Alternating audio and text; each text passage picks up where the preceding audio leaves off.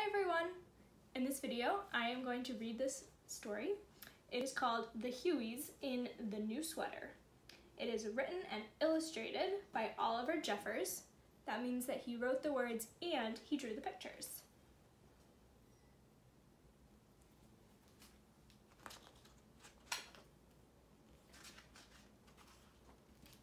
The thing about the Hueys was that they were all the same.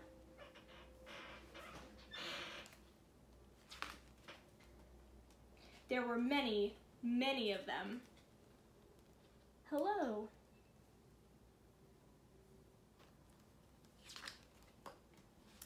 And they all looked the same, thought the same, and did the same things.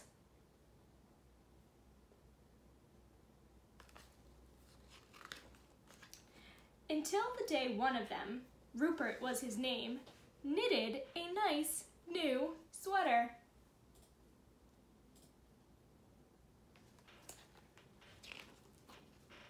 He wore it all over the place, proud as could be. Not everyone agreed with his taste, though.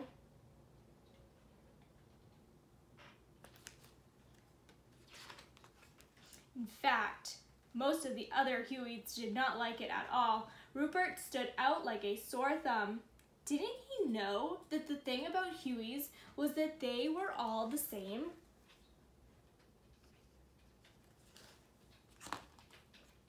Rupert went to Gillespie. Gillespie thought being different was interesting. He decided to knit himself a nice new sweater to match.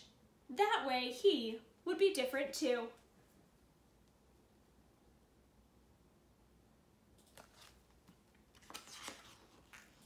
When the other Hueys saw Gillespie beside him, they didn't think that Rupert was so strange anymore.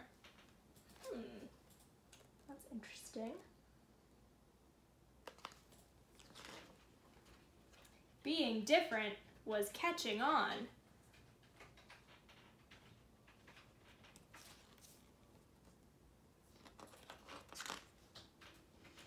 And others wanted to be different too. One by one, new sweaters started popping up everywhere. Nice sweater. Why, thank you.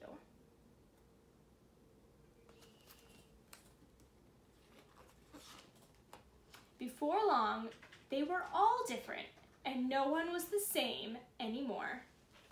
Do you like our new sweaters? Then Rupert decided he liked the idea of wearing a hat. And that changed everything.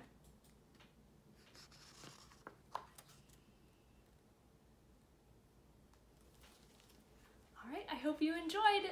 Thanks for watching everyone.